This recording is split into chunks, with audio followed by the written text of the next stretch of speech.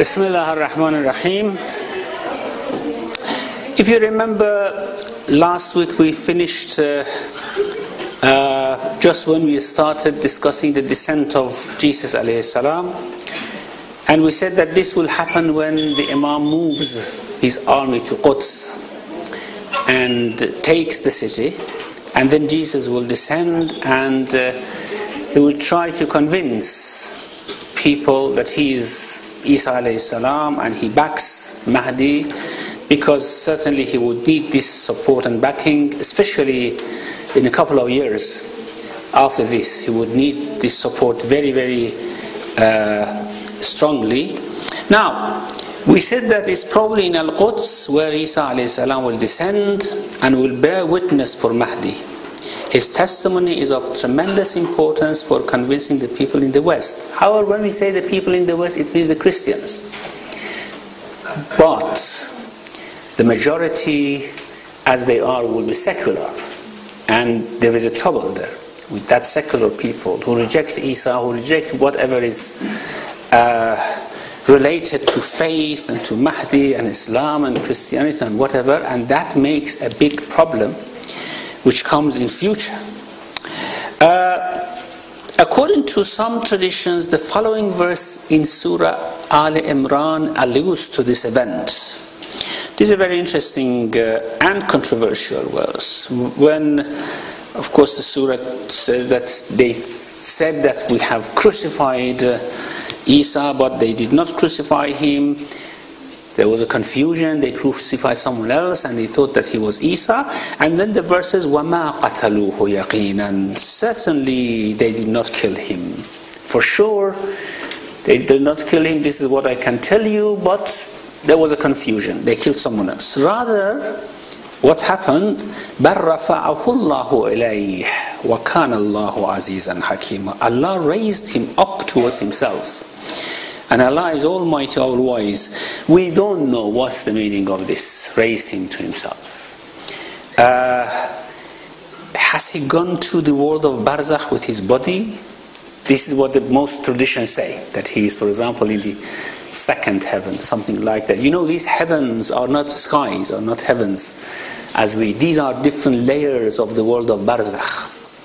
And therefore, most of the people will be in the first layer of Barzakh. That's the Sama'ud Dunya. However, there are people who go further down, deeper into Barzakh. That's, for example, Isa alayhi salam, Idris alayhi salam, and uh, uh, there is a nice tradition from the Prophet who says, When I went to Miraj, in the seventh heaven, that's the seventh layer of Barzakh, where it's actually neighboring, it is neighboring the the world of Akhirah, the Jannah. He says, I saw a very honorable man sitting there, a middle aged man, on an armchair. I asked Jibreel who this man is sitting in the neighborhood of Allah subhanahu wa ta'ala. And he said, This is your father Ibrahim. He, he is here, and when you die, you will come here. And when the mu'minun of your ummah die, they will come here. In this layer of barzakh, of course, proper mu'minun, not people like me. Proper mu'minun, they will go there and sitting there. Now, whether Isa, what's the meaning of this verse? Allah raised him to himself. Is he living on this earth like Khidr alayhi salam, for example? Or no, he has been taken. Everything about Isa is extraordinary, isn't it? I mean, his birth, his talking in the cradle, his miracles, giving life to the dead, and everything. So, this is another miracle of Isa, living in Barzakh with his body. Is it possible? We don't know. Probably living somewhere with the prophets. Now, بَلْ رَفَعَهُ اللَّهُ إِلَيْهِ وَكَانَ اللَّهُ عَزِيزًا حَكِيمًا وإن من أهل الكتاب إلا ليؤمنن به قبل موته أو ليؤمنن به قبل موته ويوم القيامة يكون عليهم شهيدا There is none among the people of the book but will surely believe in him before his death. Now, believe in him before his death. Before whose death? Before whose death? Before Isa's death or before his own death? Now, this is what usually uh, has brought the confusion to this verse. That what does it mean? No one among the people of the book would be there except they believe in him before his death. Certainly, it cannot refer to their own deaths because we know that many Jews and Christians, Ahlul Kitab, they die without any faith, or they die without believing that Isa is not Son of God. They believe that he is Son of God. Therefore, the verse alludes to the fact that the Ahlul Kitab will see him and will believe in him before his death. And therefore, the ayah would be one of the signs of the second coming of Isa alayhi salam, that Ahlul Kitab, not seculars, not secular people, not atheists, not these. We are not talking about all the people in the West, certainly, or in the East. We are talking about Ahlul Kitab, those who still believe in the book. There is none among them that they will believe in him before he dies. That means they will see him and he can convince them that he is Isa, that he is Jesus and he has come back. So they believe in him. Now there's a very interesting uh, story here. I have mentioned it because it's uh, uh, a very telling anecdote about uh, the way people understood this verse is Hajjaj. Shahr ibn Hawshab was a fairly uh, reputable scholar of uh, Hajjaj's time, Hajjaj ibn Yusuf, the, brute, the brutal and ruthless uh, ruler of Iraq. Uh, of course, he had some knowledge of the Quran, and that's why he is discussing this with Shahr ibn Hawshab. And interestingly enough, uh, there are three theories about who collected the Quran for, uh, from the Orientalists who do not accept the traditional account of the collection of the Quran at the time of Abu Bakr. It's very interesting. They say it is either collected at the time by Hajjaj ibn Yusuf or by Ubaidullah ibn Ziyad, or by Abdul Malik ibn Marwan. I don't know why they, they, they have come with such funny views. First of all, they thought that these things happen in the world of Islam by rulers, not by scholars. That's the first mistake. And secondly, they thought that who is the best person to nominate for collection of the Quran because this was something which really they detest. So three most detested people in the Muslim world, they say these are the people who collected the Quran. Now, let's put that aside. This Hajjaj had some knowledge of the Quran. Even Ubaidullah ibn Ziyad had some knowledge of the Quran and poetry and literature. Shahr says that قال لي الحجاج يا شهر آية في كتاب الله قد أعيتني uh, there is a verse in the book of Allah which troubles me. I said, which verse is that, O Amir? He said, وَإِن مِّنْ أَهْلِ الْكِتَابِ إِلَّا لَيُؤْمِنَنَّ بِهِ قَبْلَ مَوْتِ There is none among the people of the book unless they will surely believe in him before his death. And look what this ruthless man used to do. He says, I order a Christian or a Jew to be brought to me, and maybe probably he just wanted to see without any guilt. And I ordered them to be beheaded, to be killed. And then I look at them to see whether they say anything about Isa. They, do, do they believe in him or not? So he says that, uh, by God, I have had the Jews and Christians beheaded in front of me and did fix my gaze on them. But I did not see their lips to move until they died. So what's the meaning of this? I said, may God bring peace to Amir. It is not as you interpret. He said, how is it to be interpreted? Then I said, Jesus will descend to this world before the day of judgment. Thereafter, no Jew or Christian will remain unless they would believe in him before his death he will pray behind Mahdi. And he told me, Woe to you, how did you learn this? Because as I said, Hajjaj had some knowledge of the Quran, therefore he was familiar with different interpretations of such verses. Who did you learn this and where have you brought it from? I said Muhammad ibn Ali ibn al-Hussein ibn Ali ibn Abi Imam al-Baqir told me that this is the meaning of the verse. And then he, he was convinced then although he was an enemy of these people, but he knew what the extent of their knowledge would have been. So he said, You have brought it from a pure source. And he, he accepted it. Anyhow, this event of Isa salam coming and all Ahlul Kitab believing in him would be amazing. I mean, not all Muslims would believe in Mahdi. We know that. That his first trouble is with the Muslims. And uh, the most troubling battles and wars that he had at the beginning is with the Muslims. We had two good states and bad states, and then the fight and alliances which were made. And uh, but uh, if this verse has the meaning which uh, we imagine, it's amazing about the Christians and the Jews that they are convinced the way Isa salam and when they are convinced of course, they would not stop at Isa. They have to pass to Mahdi alayhi salam. I mean, because Jesus supposed Mahdi. However, the point is they do not all convert to Islam. Mahdi accepts that they remain in their faith. However, we don't know what about the rulings, like the rules of uh, Torah, whether they would practice it or do not practice it. These are the things which are quite uh, confusing for us. We don't know it. Now let's move on. Uh, in many traditions, that we have that Dajjal will be killed by Jesus. Now, who's Dajjal? Dajjal probably is not a person. Dajjal is from Dajjal or Dagal, we say.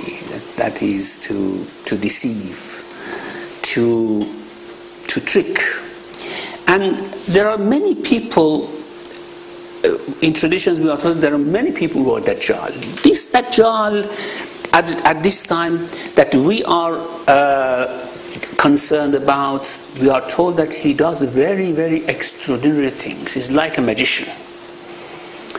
He brings things which fascinates people. He do things which people think this is the right man to be followed. And therefore, what we understand is that this Dajjal is the manifestation of the culture of the time. There, there may be many people as Dajjal there. But these are the people who fascinate everyone. When they argue, when they put forward their values, people will be fascinated and they say, This is right. This is what we have to follow. They do not want to follow Isa alayhi salam or Mahdi alayhi salam. And this Dajjal will create lots of troubles. Now, would he be in the battles which are ensuing, which are going to come, or he would not be in the battles, he would be killed before that?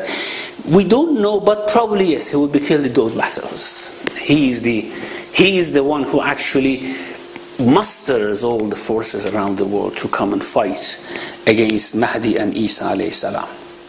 Now, uh, from Abu Ja'far alayhi salam, uh, سيأتي على الناس زمان لا يعرفون الله ما هو There will come a time when people do not know God. What is God? It's almost the time, isn't it? We have many people who argue what, what do, when you talk about God, what is it? Would it get worse than this?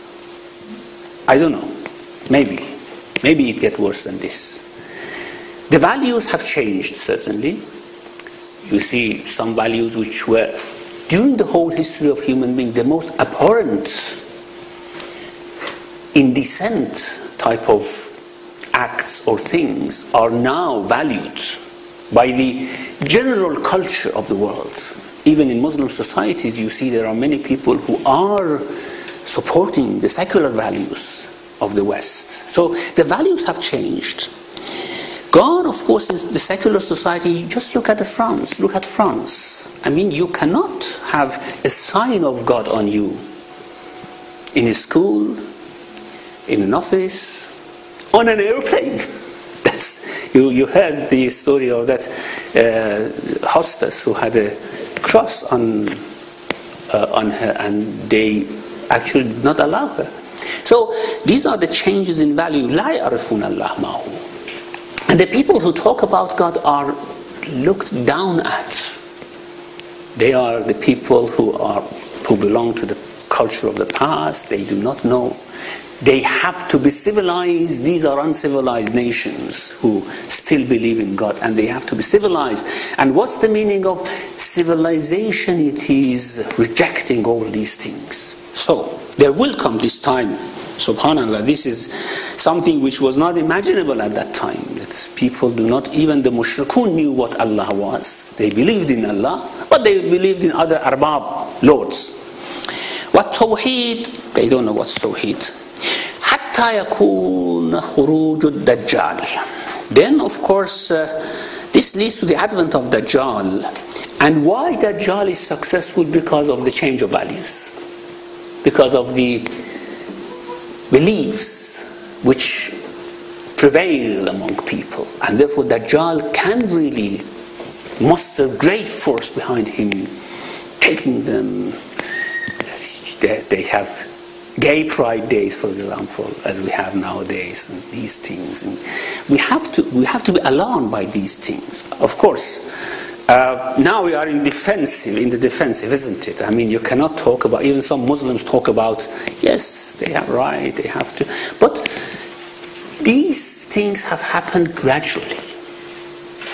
It was not conceivable at that day. وحتى ينزل عيسى ابن مريم عليه السلام من السماء. Again, this talks about Isa coming from the heavens, and that means from barzakh. When, whenever you see sama, it's barzakh, not up to the skies and on the other on other planets. It's the heavens in which the angels live and the heavens in which the angels live, most probably what I understand from the seven heavens, sab'a samawat in the Quran, are seven layers of seven dimensions of this world, which is one inside the other.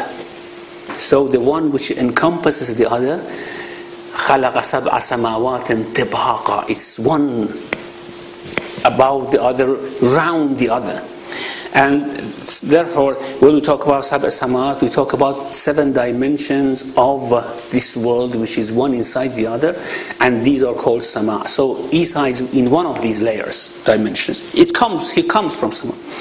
وَيَقْتُلُ اللَّهُ الدَّجَّالَ عَلَى يَدَيْهِ and Allah will kill, that, kill Dajjal on his hand. It's very important that he is killed on his hand.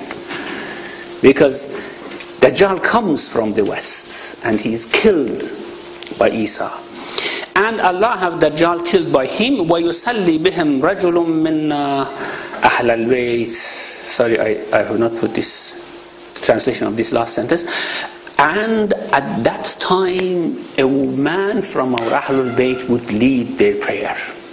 This is in line with all the other traditions we say when Isa comes, a man from the Muslimun would lead in prayer. He prays behind him. That's the status of Mahdi salam. Now, is Mahdi above Isa salam? We keep silent. We don't know. We don't know. Why should we engage ourselves in such futile discussions who is above whom or what? But Mahdi says, the, Isa salam says, this is your ummah. You lead. I pray behind you. Fair enough. And he is the leader, of course. We cannot have two leaders. We have one leader only. So he is to lead this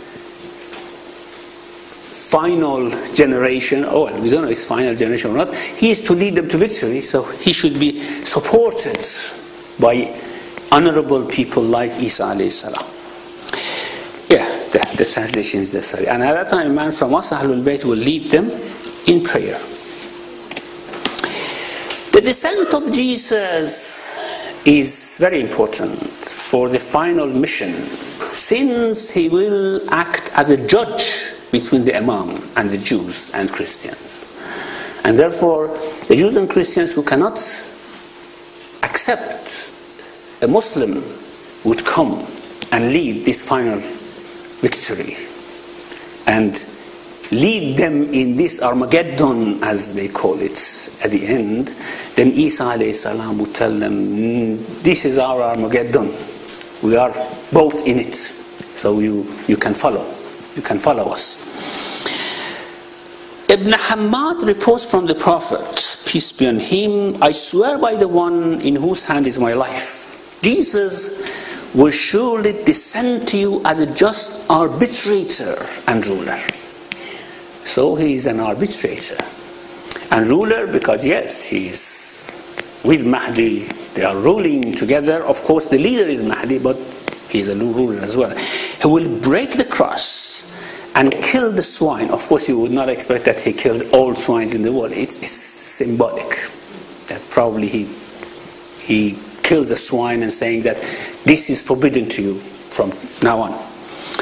And lift the tax. That's jizya. Of course, this tax is jizya because the jizya were for Ahlul Kitab. He lifts it, says now equal. You live equally with Muslims. The people will become so well off that no one will accept charity anymore. Now, we talk about this affluence later on. This comes later, not at this stage. According to some traditions, Jesus will die in Imam's lifetime. A public funeral will be held for him, and the Imam will bury him beside his mother in uh, Palestine. Yeah, who would die before who? Because, of course, Mahdi, Mahdi is not going to live forever, so he will die as well. According to some traditions, Jesus dies before Mahdi, and Mahdi would bury him. And this is very important. This is very important for those who still think that Jesus is Son of God, that he dies and is buried in this public funeral where the whole world is watching, of course, that he has died. And this is, of course, again, a corroboration of uh, what we said in the verse وَإِن أَهْلِ الْكِتَابِ إِلَّا لَيُؤْمِنَنَّ بِهِ قَبْلَ مَوْتِهِ They believe in him before he dies, so he would die probably that time. Now, now, what about the secular West? The seculars. These are the most dangerous enemy now. Not Jews, not Christians, not Muslims who are now finished their opposition, of course, to some extent. Now, when the secular West, after Isa salam, makes the arbitration and calls people to Isa, and then the worldwide support comes from the minorities in the West who are still believing in God and believe in Jesus and so on and so forth, then now this is dangerous. Now the West wants to show that we do not tolerate you. And of course, what they have is far beyond what the Imam has. Far beyond it. The coming of Jesus is a very good opportunity to call the Christians to Islam. To use the full potentials of this opportunity, the Imam would make a peace treaty with the West. Now, you know how the seculars are, they test the waters. Now, now we don't know what's going to happen. Let's make, let's make a peace treaty.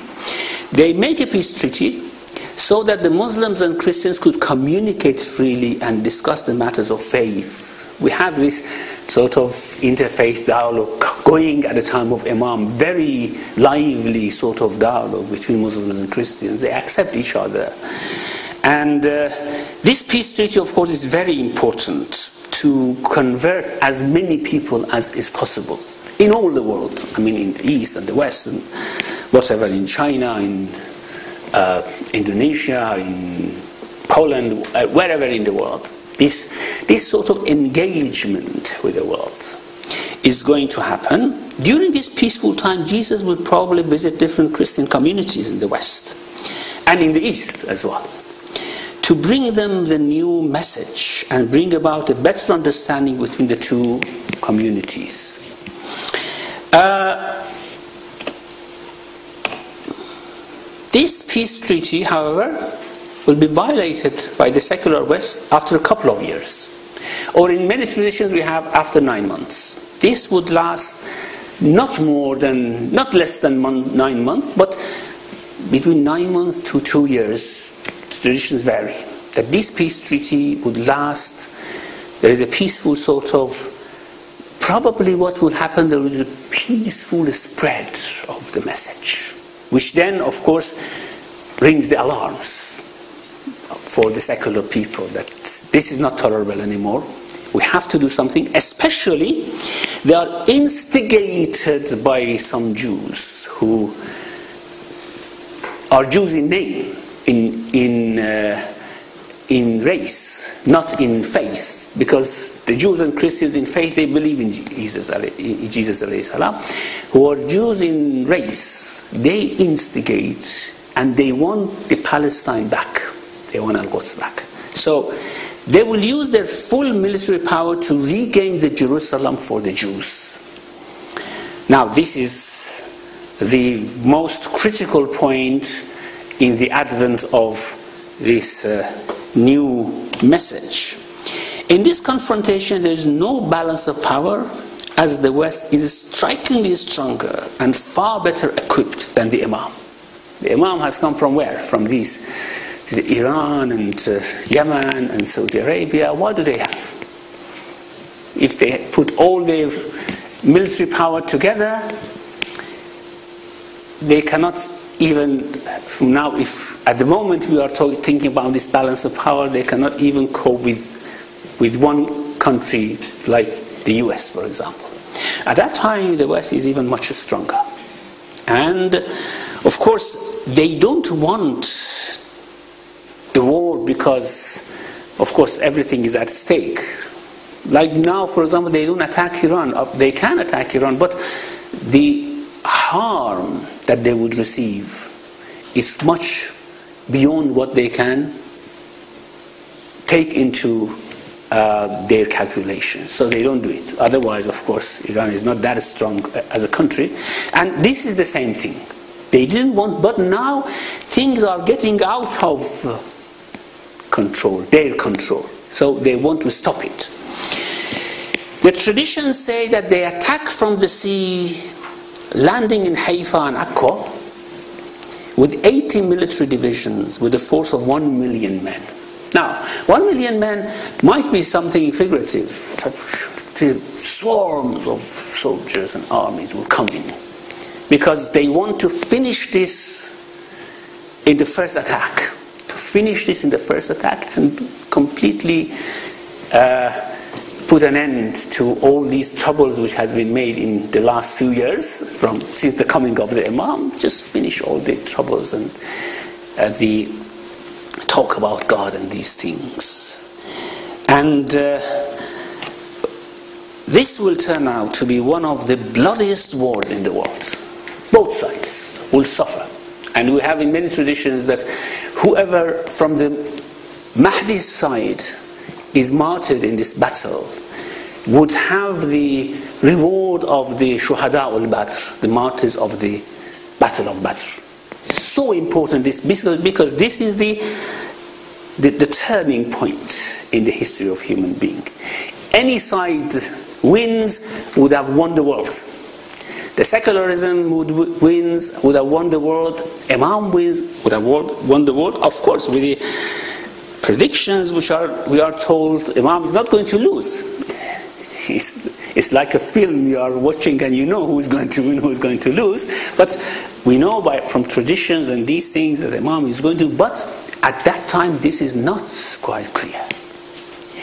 The attack and the weaponry which comes from the other side is so immense that everyone thinks that this is going to end in a couple of nights. They are going to put an end to this very swiftly and very quickly. Now, in which the Imam will have the support of God in the same way that the Prophet had in his battles. Now, here we are told that God is not going to leave the Imam. The angels will come as they came in Badr. Of course, in Badr, no one could see them. They came, Allah says, we sent you three thousands of angels. They came and helped you, but no one knew. And everyone thought that this was a miracle that these 313 people, without weaponry, they won over that strong army. And this will happen in the same way. Imam doesn't have enough weaponry, doesn't have enough uh, military support as the West has. However, he has the support of God, certainly. He will be supported by fear as the Prophet was supported by fear, the Ru'b. We have in tradition that Prophet said, I have been supported by fear for the distance of one month. What does that mean? It means whenever I move out, people who are one month away from me in the travel distance, they, they, they feel frightened. And this is what happens with the Imam. As soon as he starts moving a battalion or a brigade or something, all the armies will become terrified. And this, of course, fear is something which is the most corrosive thing for an army. This is one of the supports which Allah gives him. And the other things which are unseen, like what happened in Prophet's time, for example, in Battle of Hunain, Battle of Badr, which everything, everyone thought that it went naturally, but it didn't went naturally, we are told. So the same thing would happen here about the Imam, salam. In this battle, seeing the military superiority of the West, many Arab countries will join them against the Imam. Well, you would expect that again. That's well. Look, you cannot even even you, if you are right, you cannot cope with this. So let us go with the other side. Many will be killed from both sides in a fierce Armageddon. This is what actually we have in Christian uh, predictions as well. And many of these predictions that we have in our traditions, you can find similar things in the Bible. However, the point is they think Jesus is fighting against Muslims. Well, he's actually not. He is siding with Muslims against the seculars, not against Christians or Jews or something, against the secular West. But eventually, the Imam and Jesus will be the victors of this war. Now, this puts an end to all oppositions.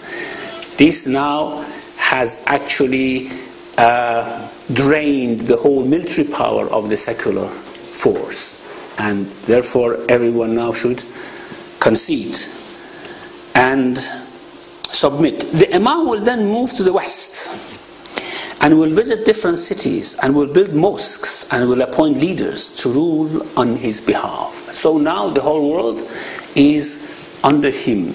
Now, you would see that usually we are told that when Imam comes, he starts fighting battles, killing. Now, in all these things that we had in our traditions, you never saw that Imam starting a battle. He never wants to do this with force. He is always fought against, not fighting against anyone. He makes the peace treaty with the West, are very happy about it that now they can communicate, they have they can have dialogue, and of course, those dialogues you can imagine would go on the internet, would go on TV, and all these things. And this is what frightens the West, actually. So you would see through all these uh, different phases, phases of his, uh, the only thing which he actually, the only aggressive act which he does is taking Al Quds. This is what, of course, he has to do. He moves to take the Quds because it belongs to them, it belongs to Muslims, and he takes it. And that, of course, brings lots of animosity as well from the other sides.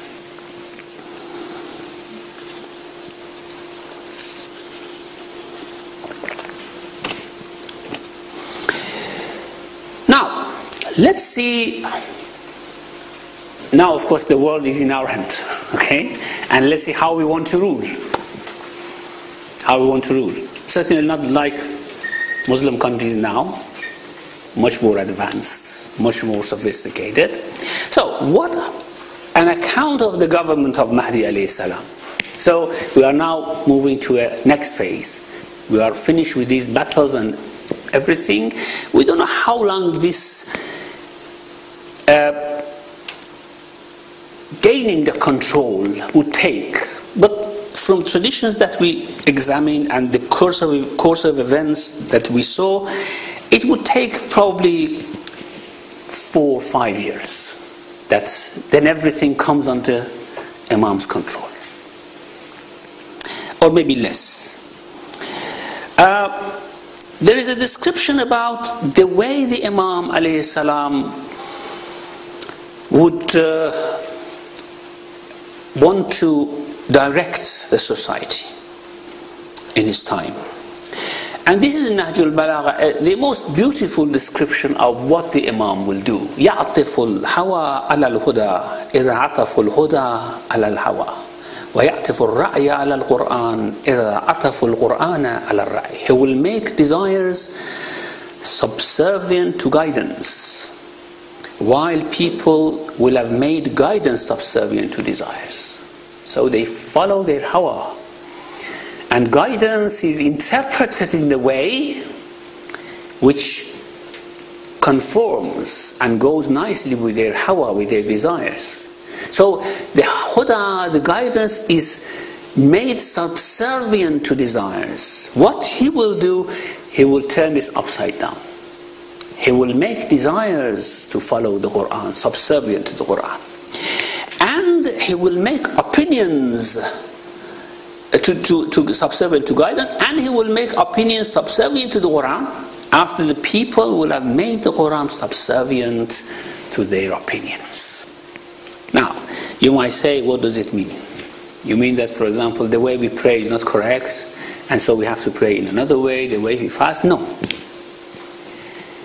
Quran is much more than this. It talks about justice, it talks about welfare and well-being of the people, it talks about merits which every human being should have, and uh, talks about bad traits that every human being should put aside.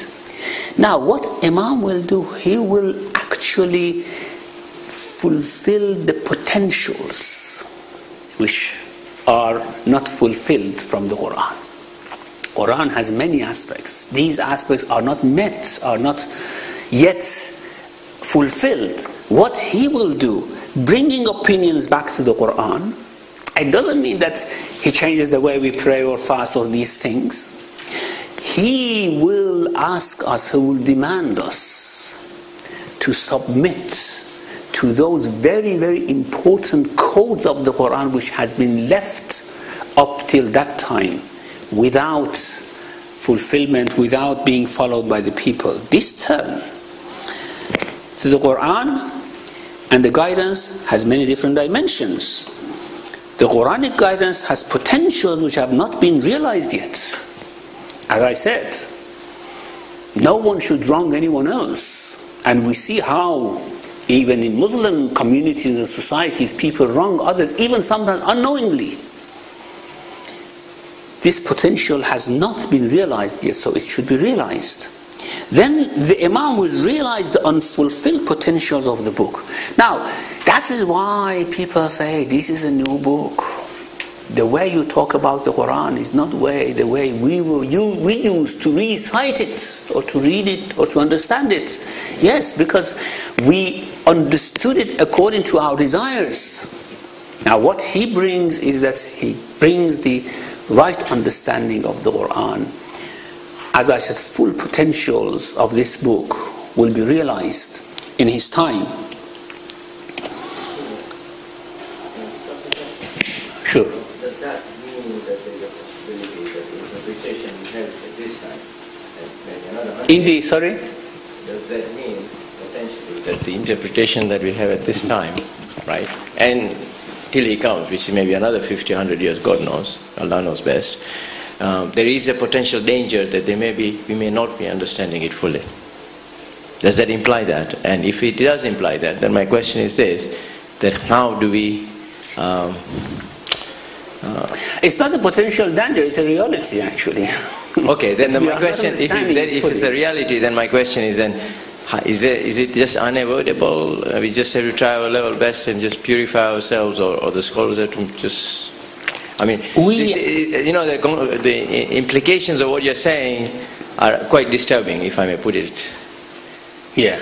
Uh, certainly, and we can see that, that you know people are taking and talking about Qurans and, and, and saying there's a book that has passed its time, and you know gender issues, all sorts of issues that come. I mean, this is happening today. That people are disputing the very essence of this is really, and maybe someone probably would go and say whether it really is a book or some, you know, I'm talking about Muslims. I'm not talking about non-Muslims. I'm not talking about these controversial issues that we have now. We don't know. We want to. We don't want to settle it on the account of the Imam, saying that if Imam comes, he changed the gender rules of the Quran or these things. No. We don't know when he comes what he will bring, what interpretation he gives. We shouldn't prejudge according to our own opinions. When he comes, he will subservient, make our opinions subservient to the Quran. But yes, of course, this is the this is the disadvantage of the absence of the Imam, isn't it? If if we are the same as the time of the Imam, then what's the need for him coming? So, so there should be a change, there should be a difference, certainly. However, we are not going to be punished for our wrong understanding because this is the amount of the, the extent of our uh, understanding, the extent of our efforts. This is what we can do. The best thing uh, we can do is try to understand the Quran without our desires. But you see, it's, it's always difficult. And uh, therefore, I mean, all these discussions that you see now, going in the Muslim world is because they have different interpretations of the Quran, isn't it? I mean, there's a very beautiful uh, debate between Hisham ibn al-Hakam and uh, a man from Sham who whose name is not mentioned in tradition, but probably he was a very adept Mu'tazili theologian. And uh, he came to, the, to Imam Jafar al-Sadiq and he said that tell your students to, to discuss or to, to, to start a debate with me. Of course, he knew that he should have kept the respect of the Imam, not saying that I have come to, to argue with you or have debate. He said, tell your students. And Imam, okay, said to different students of him, all of them actually defeated the man. But Hisham ibn Hakam was very different. He said that uh, after the Prophet, you say the Prophet is the one that you have to follow and he takes away, removes all differences. Said, yes. He said, who after the Prophet? He said, no one, the Quran. You follow the Quran after the Prophet. He said, you mean the Quran would remove our disagreements and misunderstandings? Said, yes. He says, So why have you come from Sham to discuss with us? We are disagreeing. if the Quran was to take away the disagreements, why are we disagreeing with each other? And the man was dumbfounded. What, what should he, he had come from Sham to talk about disagreements, and he said that yes, the Quran would remove disagreements. So this is the disadvantage of. And then the man said, okay, you, who you say would be after the Prophet? He said, do you accept? He said, yes, it's this man. Imam Jafar said, this man. He will remove our differences, we have to all listen to him. And now that we don't have the Imam, oh, we have to wait for him to come and tell us who's right, who's wrong. And not everyone would accept, of course, his judgment. Uh, now,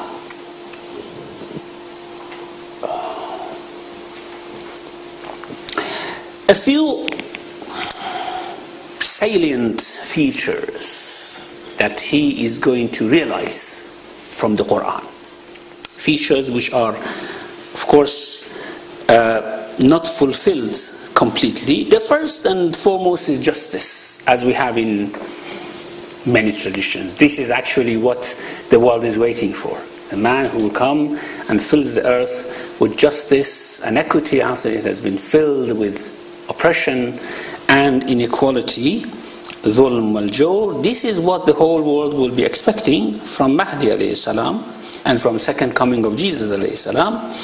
Al-Hafiz Abu Nu'aym, this is uh, the respected Sunni scholar who has bring this tradition قال النبي صلى الله عليه وآله لا تنقض الساعة حتى يملك الأرض رجل من أهل بيتي يملأ الأرض عدلا كما ملأت جورا يملك سبع سنين The Prophet said the hour will not pass the hour is the, the qiyamah of course the, the sa'ah before a man from Ahlul Bayt will rule the earth filling it with justice after it's filled with oppression he will rule seven years now about the The rule of the Imam is not very long anyway. Some, the, the longest period which has been mentioned is 20 years. The shortest is seven years. Now, here, these traditions, of course, that we examine, most of them say he would rule between seven to nine years. Now, he will rule because it's a yamlikul ard. He takes the, the land, the, the whole earth. Now, these seven years or the longer period, is it after he establishes completely in the earth, after defeating the secular West, and then seven years, or right from the beginning? If it's right from the beginning, that means he lives very short time after everything is established, a couple of years, and then he would die. And what, what happens after him is another story. But whether the world would finish or it would continue, that's another story.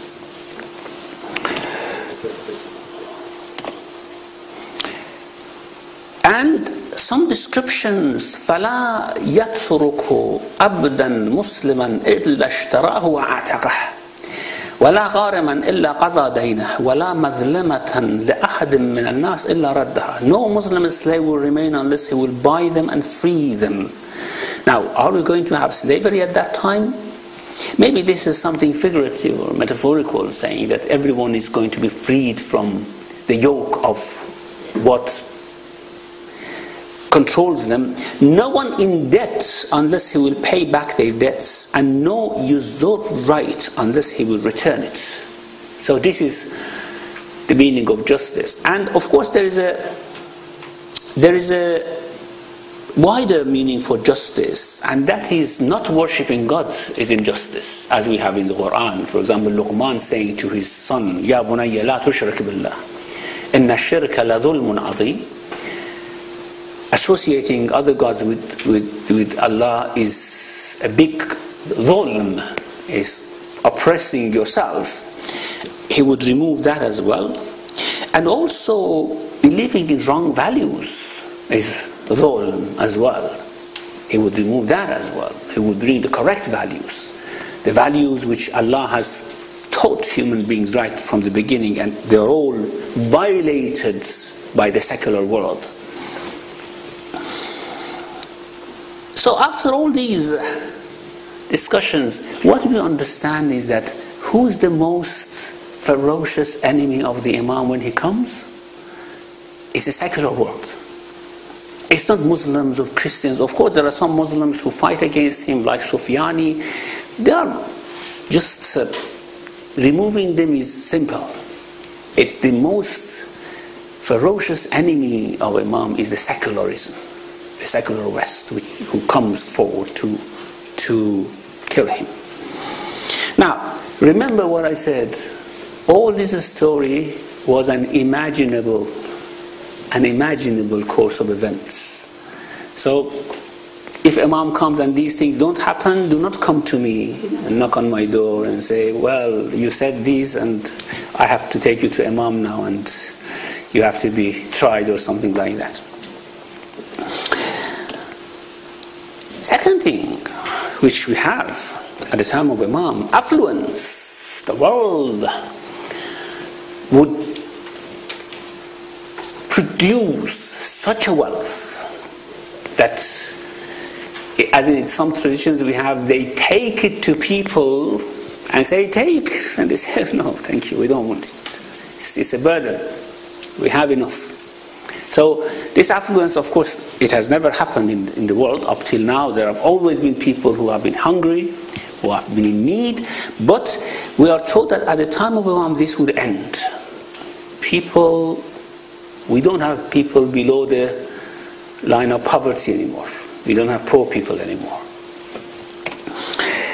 Again, Al-Hafiz Abu Nu'aym Said al-Khudri الخدري the النبي صلى الله عليه وآله أنه قال يكون من أمتي المهدي. إن قصر عمره فسبع سنين وإلا فثمان وإلا فتسع يتنعم أمتي في زمانه نعيما لم يتنعم مثله قط البر والفاجر. Now, let's see what's the meaning of this. The Prophet said,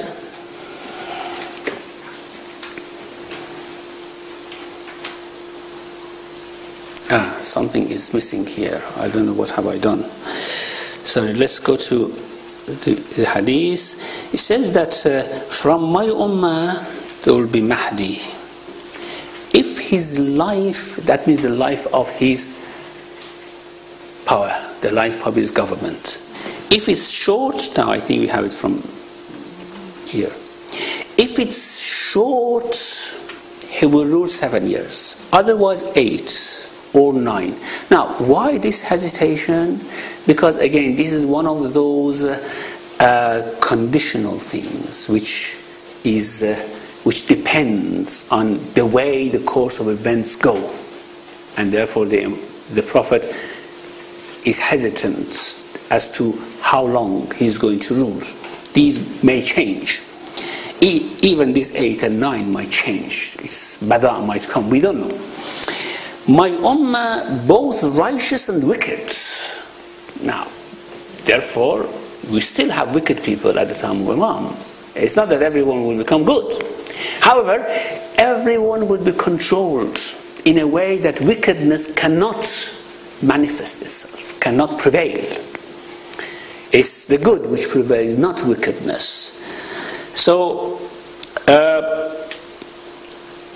both righteous and wicked will enjoy such comfort at his time that they have never experienced a comfort like it. That means the people on the earth have never experienced. The sky pours rain over them in abundance, and the earth would bring out its vegetation. Now we might say, is affluence good or bad? Is comfort good or bad? It's good. If you obey God, it's good. وأن استغفروا ربكم as we, you knew was telling his people أن استغفروا ربكم يرسل السماء عليكم مدرارا if you ask forgiveness from God Allah will send abundance to you from the sky rain everything ويمددكم بأموال وبنين ويجعل لكم جنات ويجعل لكم أنهارا something like this and he will give you children property, everything. وَلَوْ أَنَّ أَهْلَ الْقُرَىٰ آمَنُوا وَاتَّقَوْا If the people... Now, this is actually the realization of this verse. If the people in cities were to believe and have taqwa, ولو أن أهل القرى آمنوا واتقوا لفتحنا عليهم أبواب كل شيء. We would have opened the doors of all affluence to them. But what they do, as soon as they become wealthier and more powerful, they start to oppress, they start to wrong others, they start to attack others, they start to make bombs and all these things. So we stop. We give just the amount that they can live, not more than that. And even that, just that the amount that just they can live is appropriated by some people and accumulated as wealth here and there, and people go hungry. But when this taqwa and faith comes, there is then no hurdle, no barrier here for this affluence to come. So this affluence will come at the time of Imam alayhi salam, and they will experience a comfort that they never have experienced before that. Of course, don't think that this is going to be like Jannah. It still is this world. Not worthy anyhow. أن النبي صلى الله عليه وآله عن أبي سعيد I don't know why I have messed up here. Anyhow, عن أبي سعيد. This is uh, uh, أن النبي صلى الله عليه وآله قال يكون في, يكون في أمتي المهدي إن قصر فسبع وإلا فتسع. Now, from my ummah there will be Mahdi. If his time is short, seven years. He will rule seven years. Otherwise, nine. My ummah will enjoy such a comfort at his time that they have never experienced a comfort like that. The earth will expose its fruits. What's it? تؤتي الأرض أكلها أكل the fruits the, whatever the earth can provide now this might be mines uh, vegetation, many other things which we have not yet found. I, we, in a couple of hundred years ago, we found oil, and so you can see how rich we have become in this world.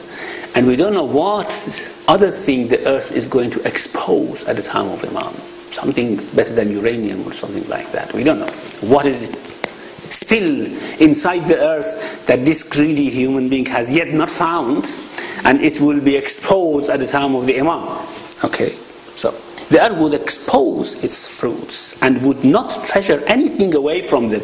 Now, not treasure anything. And There are many things apparently now in the earth more precious than gold and silver and oil and other things that we yet have not found it. Thanks God. What if we had found it? We would have killed more people, isn't it? Thanks God, we haven't found it yet.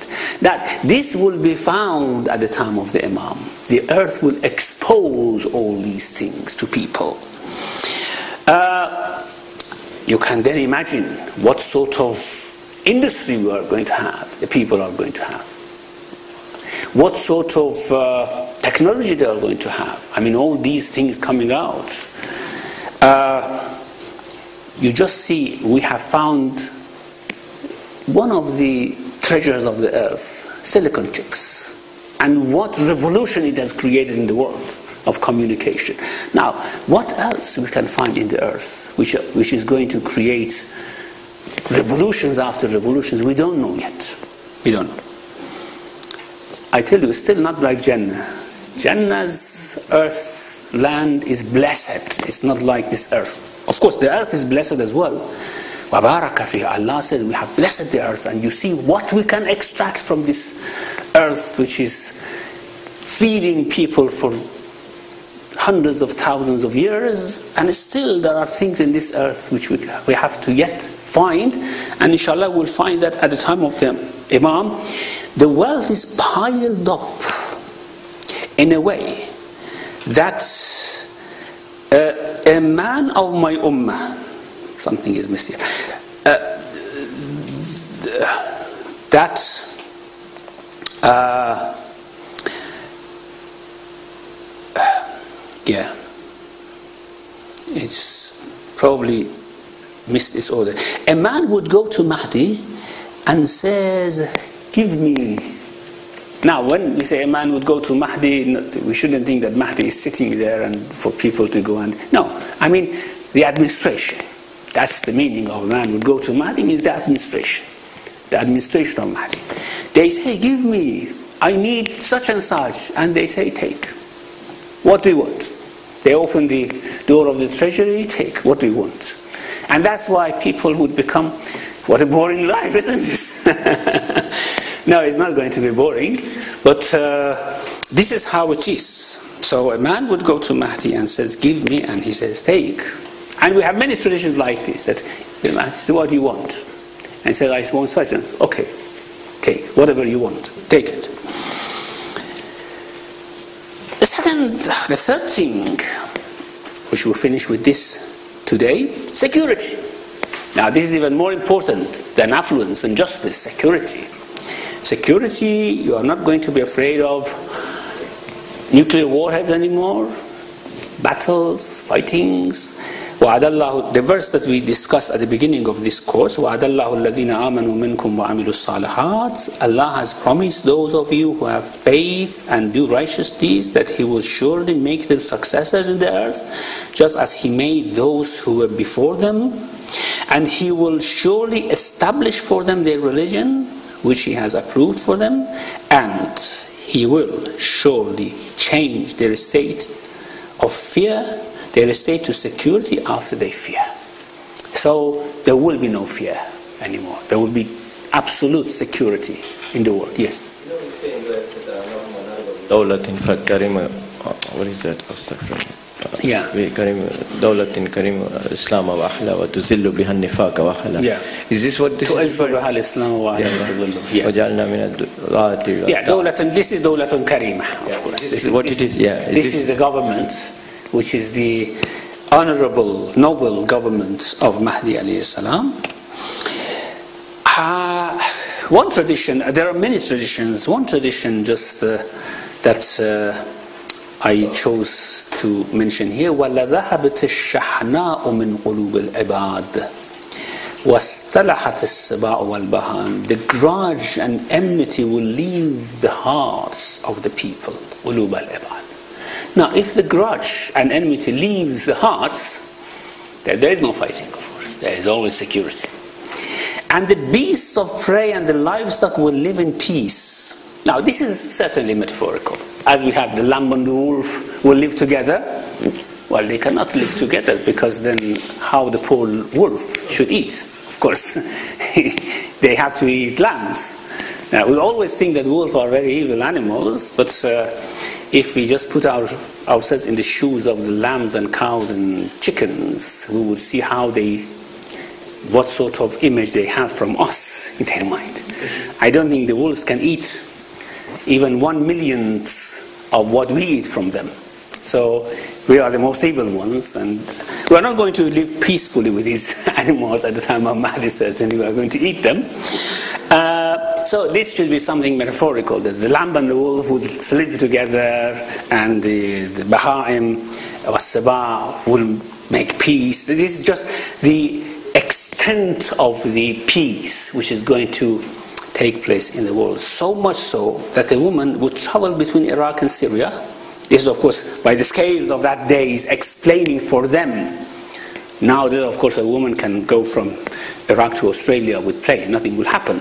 However, the way they wanted to actually make people imagine the type of security at the time.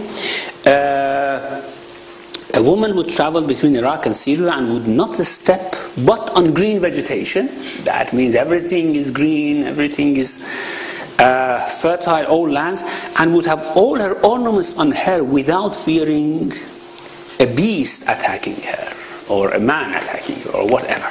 It can go alone. It was unimaginable at that time, of course. So this is just. Uh, uh, somehow bringing to mind the type of security which is available at the time, inshallah. We hope we see that time. Okay, questions?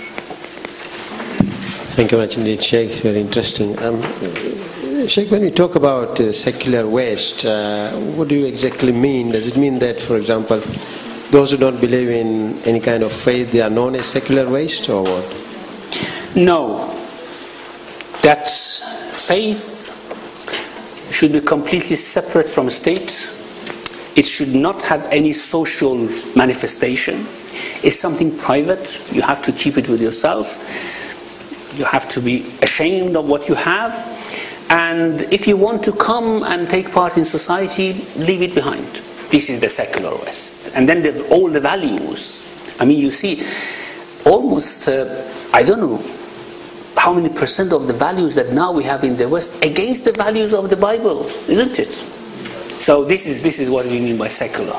Against the values of all religions. This is what we call secular. Yeah. Thanks. Uh, any sisters? No brothers? Yes, of course. Um, alaikum. Two points. First of all, when we say secular, I mean, we don't necessarily maybe mean atheists, which means people don't believe in God. We're talking about people who are actually against the belief of God and are actively trying to stop it, as is happening today. Yeah, that, that's what we mean. Not those who are agnostic or they don't know yet, they don't believe yet. I mean, these people in those uh, in that. Uh, period of peace, of course, there will be lots of discussions between them and others. They may, may be convinced. But it's the whole system of the secularism which is going to come out against. It's quite conceivable because Imam is actually challenging it. Challenging. Now we have, for example, we had Imam Khomeini challenging the secular West, but they don't actually take it serious. It's not a big danger at the moment. But the Imam is going to be a big danger. And therefore, of course, they take it very serious. And, and the second point was this peace treaty you were talking about for nine months to two years. Maybe this is a, just a fake peace treaty because, like the Iraq War, they already knew when they were going to do it and what they were going to do. And all this talking in United Nations, this was just to fool people. Yeah. So maybe they need this time to plan. So that, that's, that's quite possible. And we have in traditions that it's not the Imam who violates this treaty, actually. It's them who violate the treaty. If you're going to send a million men, you can't do it in one week. You have to, yeah, nine to months, plan. one year. Yeah, one- yeah. True. Thank you. Any sisters? No? Riyadh? Salam, Sheikh. Thank you very much for your lecture. Sheikh, we've, for the sake of discussion, um, grouped people into very discrete groups, like Ahl Kitab, the secularists, the Imam, Jesus. But we know that people are actually going to be in a continuum, and you're going to have people who are perhaps secularists or are benign. You have people who are idol worshippers, but benign to the rule of the Imam. So you have Buddhists, you have Hindus. Yeah. What about people who fall into other categories which we uh, haven't defined? As I said, Imam is not going to fight anyone. I mean, even this secular people, they start the fight with Imam. Imam, what he wants is that period of peace, discussion, interfaith dialogue. And therefore, even those who, who are benign in this secular West, they will join the Imam or they will not take part in this battle. Imam is not going to bomb the West. As uh, here they, they picture that if this Mahdi that they say come, he would nuke the Western cities, and it's not going to happen certainly. There will be war, of course, in the battlefield, the things are different. And after, of course, the war is won, as we said, Imam would travel to the cities of the. Now he is in control of every, in everybody. He builds most. He would not force people to believe. This is this is what we understood from all this. He would not force them. So again, they have their own choice, and still we saw that uh, whether people are wicked or or benign or good and righteous, they are going to benefit from the uh, government of from that dawlatul karima. They are going to benefit from it. Thank you. Any sisters? No? Firoz? This is just a thought that has just come to my mind. Um, if, as you described, that uh, the West, which was Rome, and we assume that that is now what we consider to be the Western civilization or the Western, the affluent part of the world. Again, just sorry, I, I, I interrupted. Again, what we say about the West, we, this is our understanding of Rome, what they talk about Yeah. That's why we say the West. It might be wrong. There may be other blocks of secularism in the world which might come and It fight. could be China Russia, it could be in the eastern. Maybe. Maybe, okay. The, the whole thing is that the secular world, whoever they are, Okay. they will come. And even in some traditions, we have that China is going to help the secular camp against the Imam. So it might come from the, all over the world. The secular world would come against the believing world, so to speak. No, what I was alluding to or going to was that uh, there are people like us, okay, there are people who are Muslims who have migrated to the West, uh, and some of them have no state, or, or, or it seems like they will not go back to wherever they came from, the second, third generation, fourth generation, whatever, because of many reasons links, lifestyle, whatever economic reason. Um, how are they going to react? Because obviously, if Mus- and I talk about West in general sense, not, I mean assuming that this is the Western part.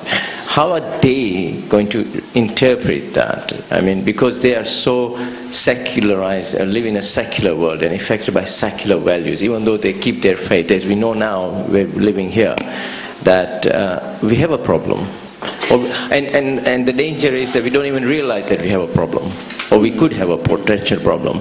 So, how does is there any any um, um, is there anywhere in the traditions of the role that this group of people will play? Because right now there's this idea that uh, Muslims in the West are going to be a bridge between the Muslims of the East and the West because they are now in both camps and they understand the secular side and you know that kind of kind of globalized thing where they will sort of kind of moderate and etc etc that kind of thinking um, I, am just sort of hypothesizing. So, is there anywhere in your research that the, the role of this? Because the danger I see is that uh, that group of Muslims are going to be caught, and maybe the Imam will fight them first. I don't let know. Me, let, me, let me give you an example. When Imam Khomeini came, how did you react? Hmm? Well, most of you were absorbed to him, isn't it? Now, Imam is hundred times more convincing and more attractive than Imam Khomeini. So there is no problem. I mean, with people with good heart, there is no problem. I mean, an Imam is not going to come out as a brutal man killing anyone who has made one mistake. This is the sort of imagination that has been created for us. And therefore, especially now, what is your role? Yes, inshallah, if you see the time of Imam, that interim period when these dialogues are going between Muslims and others, you will create a great, you will play a great role, certainly. I mean, you are going to uh, arrange uh, conferences, seminars about the Imam, what is his mission, why has he come, what is he going to do, and then, inshallah, you will support. Yeah. There's, there's no worry about that. But don't invite me, I've not no time. Thank you, sisters. Yeah? No sisters, brother? Yeah. Assalamu alaikum.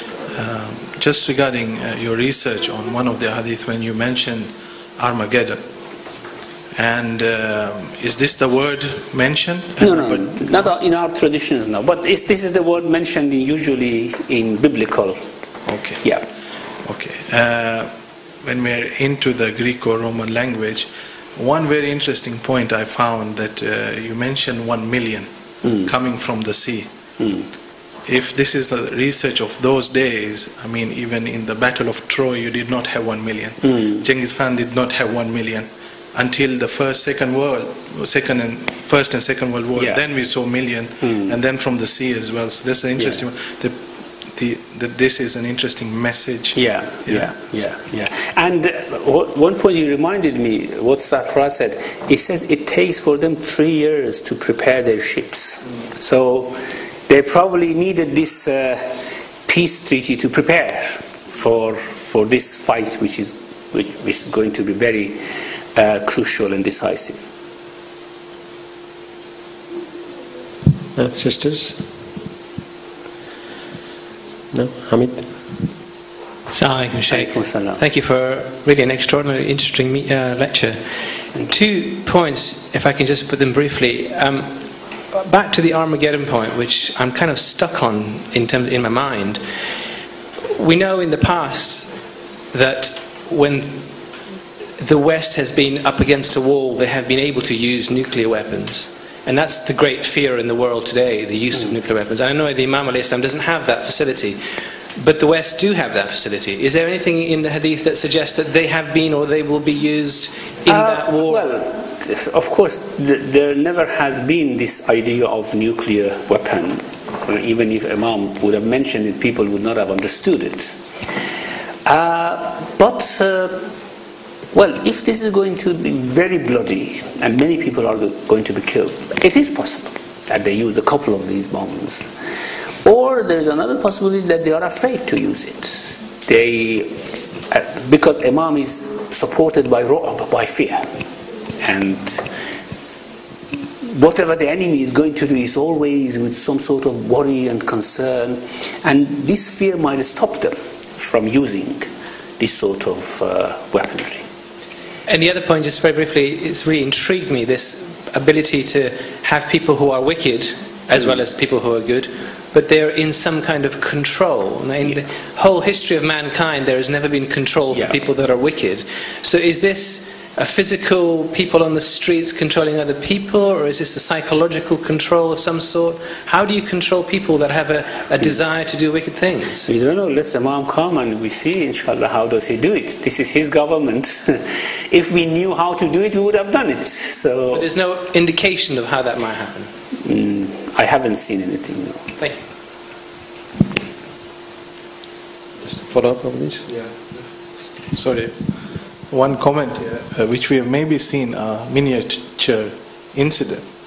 One regarding the treaty that when during the signing of Hudaybiyah, for example, the two years afterwards, until eight after Hijrah, the number of people who became Muslims, there are many more than 19 Yeah. years. Yeah. Another point also interesting that Uh, actually, some people have made some parallels between this peace Yeah. treaty and Hudaybiyah, saying that this is exactly like Hudaybiyah, in which the Imam gathers the strength, people would come to Islam uh, in numbers. Yeah. And then the other point about these wicked people being under control, we saw Abu Sufyan and his people during the conquest of Makkah, that they had no choice, at Yeah. least for a certain time there, to just go into this route and accept. True, true. Yeah, thank you. Thanks. Any sisters? No? Zahid? Sisters are waiting to be one of the 50, so Sheikh, one of the arguments that often gets put to Muslims is around uh, Islam being spread by the sword. And the example that's oft quoted is that of the Crusades. So, here in what we've discussed today, I understand everything we've said is uh, where Imam and his army is reactionary. However, the one point where we said there is an aggressive part and perhaps an offensive is around Al Quds. So, in discussion, how do we explain Well, Al Quds is because actually Al Quds is in the hands of Sufyani, and Imam defeats Sufyani and go moves there. Again, in a sense, we can say that's not aggressive. Imam actually defended against Sufyani, and Sufyani was defeated. Of course, not by the Imam, by Allah Subhanahu wa Taala. The earth sinked, and they sink into the earth. And now that Sufyani is removed, Imam moves to the Quds because now this is the place where the head of the army and head of the the leader of the country is now who was fighting the Imam is now dead, and Imam moves there, and he does not meet much opposition there.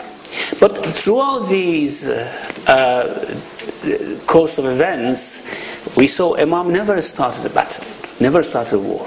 It was always after. He was always after peace. And regarding crusades, crusades again, again was something about Palestine. This Palestine has always been this very controversial uh, place, and uh, uh, actually Muslims did not open any land during crusades, except of course this uh, Constantinople, which at a time they gained control and then they lost.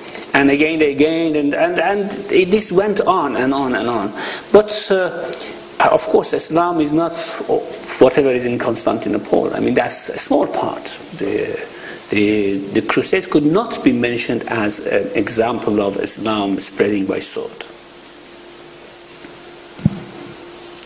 You. Any sisters? No? Sheikh, when we talk about Dajjal, uh, we, you explained that Dajjal, well, we, we had a story going around when we were younger that uh, Dajjal is one-eyed person, a cruel person, evil person who will be killed by Prophet Isa. And now These are the things we have in traditions, yeah. yes. But now, uh, now we have discussed that the Dajjal is not a person, but is a culture. And maybe. We said maybe. and he may be a person. But that person would be the representative of that culture, certainly. And we have in traditions that we have 70 Dajjals. So that means there are these people who come represent this sort of culture. Uh, of leisure and pleasure and uh, these things which are, of course, against human values. Where does the idea of one-eyed come in? It's, it comes from tra- tra- traditions to uh, make him more fearful, actually, one-eyed. And okay. Any sisters? Uh, no sisters? Last question from brothers? Anybody? No? Okay. Muhammad wa ali Muhammad sallallahu alaihi wasallam.